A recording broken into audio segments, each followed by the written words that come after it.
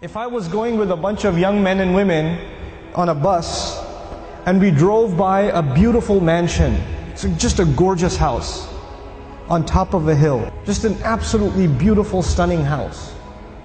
And the, the driveway into the house, there's a gorgeous car parked outside. And on the back of the house, there's this incredible backyard and a swimming pool and all of it. I mean, whatever you can imagine is there. It's like it's a piece of Jannah on earth. And you see the guy walking into his house. We're driving on this bus and we see this guy walking into his house. And I ask these young men and women, do you think that guy's successful? Do you think he's successful? Overwhelmingly, what is going to be the response? Yeah, that's pretty successful. And the guy, look at him. Look at what he's accomplished in life. That's a pretty successful person. Okay, when you take a picture of someone graduating from college, they're shaking hands with the president of the university, they're being handed their diploma, and somebody asks you, "Do you think that's successful? What are people going to say? You know, it's going to be Muslims and non-Muslims. Everybody's going to say that that is a kind of what? Success. When somebody gets a job, is that a kind of success? Sure.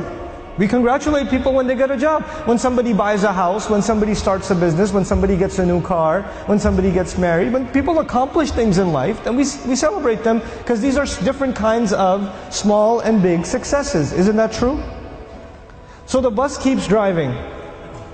And we see a, a man, a homeless man, who's living in a cardboard box on the street. And he looks like he's wearing clothes from a couple of years. And you don't want to go close to him because of the smell. And I ask my students, do you think that guy's successful? What do they say?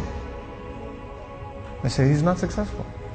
Now imagine if I was riding in this bus, but in this bus there were not Muslim boys and girls, but there were Christian boys and girls, or Jewish boys and girls, or atheist boys and girls, or agnostic boys and girls, or Buddhist boys and girls. And I asked them the same exact question. Do you think their answers would be the same? Yep, their answers would be the same. That's the problem. The problem is the way we think about success and the way we think about failure. For Muslims, it's supposed to be different. All human beings can see it a certain way, that's fine.